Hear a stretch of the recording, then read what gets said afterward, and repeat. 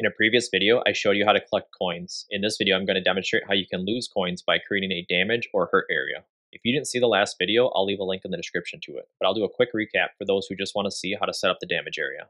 I have an event controller that is setting up two signals, coin collected and coin dropped. I have a game controller that is keeping track of the player's total coins. It has two correlating functions. It has coin collected, which is simply adding the value passed in to the total coins, and then emitting the coin collected signal with the total coins passed. It is emitting this signal, coin collected. And then there's also a coin drop function, which is subtracting the value passed in from the total coins. We're first checking to see if we need to update the UI. If the total coins is already at zero, we're not going to update the UI. And then we're just doing a check to make sure we're not taking more coins from the player than the player has, because we're not going to allow them to go to negative. And then if their coin balance did change, we'll event the signal, coin dropped, passing in the new total coins. In our coin UI, in the top left corner, we're going to display a little coin icon along with the number of coins they currently have. Whenever they lose a coin, we're going to pop up this animation with the subtract symbol and then a spinning coin to show that they lost a coin. In our coin UI script, we have a reference to our label, which is the number of coins the player currently has, and then to our animated sprite coin. This animated sprite is simply a spinning coin from the assets. I will also leave a link in the description to all the assets I'm using.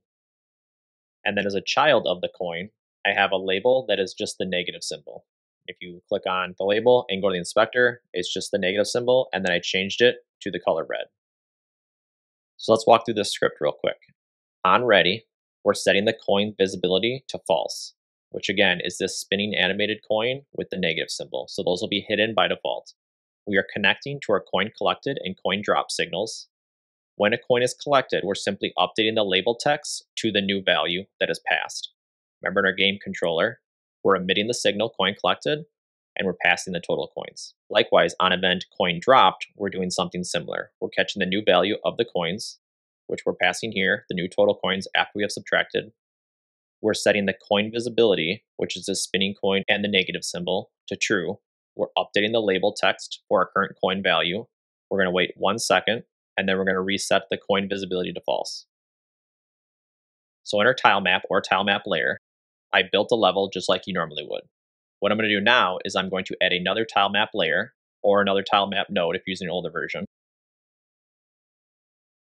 I'm going to call this one damage area. And I'm just going to move it up by the other one.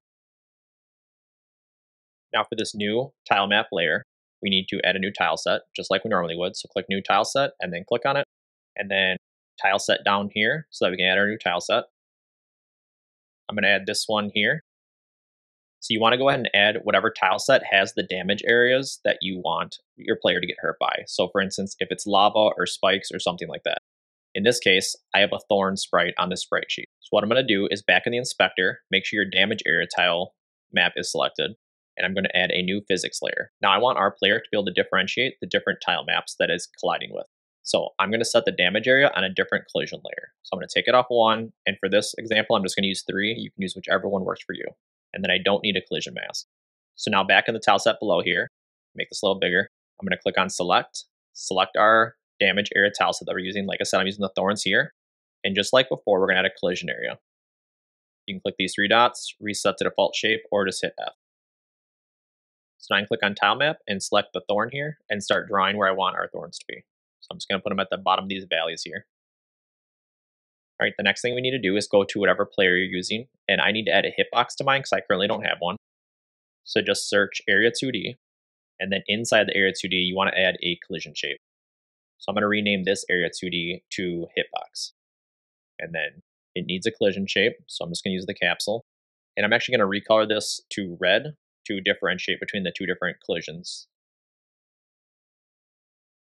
And then make sure your hitbox or your Area 2D that is going to represent your hitbox is selected. And then over in the inspector, come to collision. And then remember, we got to update our mask. So remember, our damage area is on mask 3. So we don't need to look at 1, just 3. And if we come back to the scene, make sure your hitbox is selected, and we're going to add a signal. So hitbox, and then over in the inspector, click on node, signals, and we're going to do body entered. And then we're going to set it to your player script. And all we're going to do here is we're going to use the game controller that I showed you earlier, and we're going to do coin dropped. And then we can set the value that we want the player to lose when they hit this area, which in this case will just be one. So now we can go to our level and I can show you what this looks like. You can see the top left here, we have a nice coin icon with the number of coins we currently have. The coins are spinning as we expect, and then if we collect these three, we now have three coins. And if we fall in these thorns, you can see we get the nice spinning icon with the minus symbol showing that we lost a coin.